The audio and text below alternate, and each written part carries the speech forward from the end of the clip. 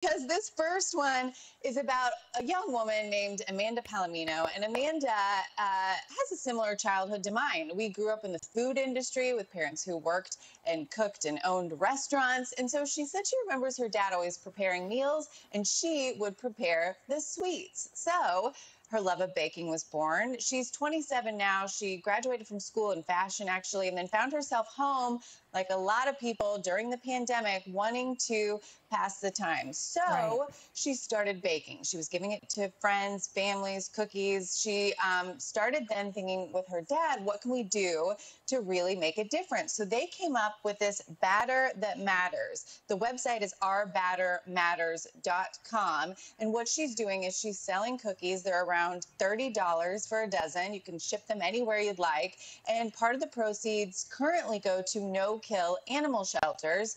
And she also was fostering Aww. animals during the pandemic. And she said so much of it was such a stress relief for her. So she wanted to give back. That's how Our Batter Matters was born, as well as just you know, doing something with her father since she was back home and making people happy. So check out ourbattermatters.com if you want to get involved. She said she's open to taking more suggestions too for where other proceeds can go to benefit different charities uh, and just doing a lot of good right from her very own kitchen. We love this.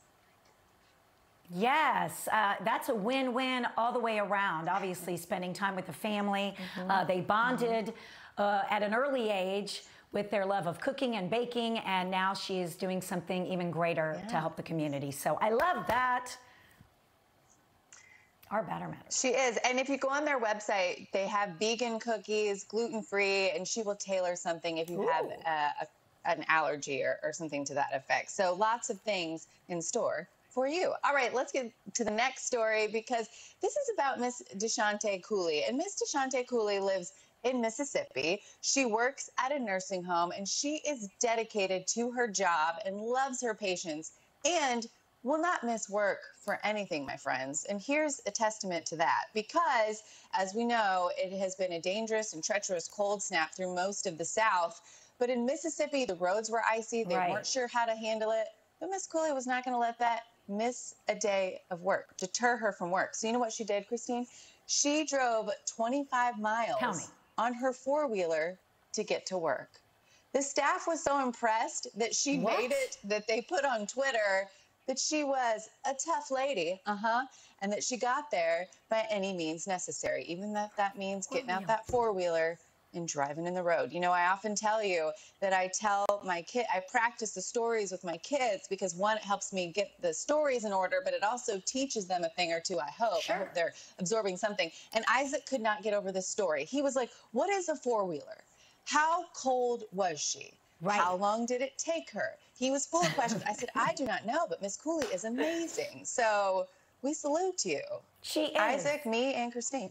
Mm-hmm. Yes. Yes, and we got time for one more, I think, Kara. Mm-hmm. Yes? Oh, we do? Okay, good. Because this one, you know, we no? love to talk okay. about animals. This is about uh, bogey. Oh, we don't? Okay, we can save it for tomorrow. We can save it for tomorrow. Yeah, I don't yeah, know. we I do. Can't hear we anybody. Do. So we you just tell me if I can go or not. Oh, this delay. Oh, okay, okay, this delay. Okay. This is about bogey and a sergeant in the Marine Corps, Angela Cardone.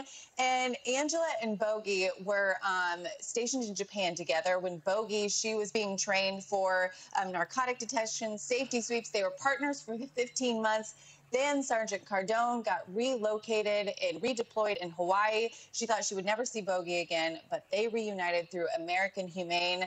American Humane Society has a function within their ah. organization oh. where they reunite um, military handlers with their animals. So that's how Bogey was able to safely be back with Sergeant Cardone. So happy homecoming. That just happened a few days ago, and we wanted to celebrate it here. Yay. Yes, we do. Reunited, and it feels so good.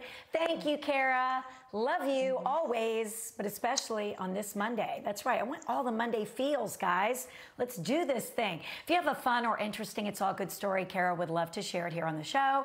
It's facebook.com slash ATL & Co. or tweet us using that hashtag, It's All Good.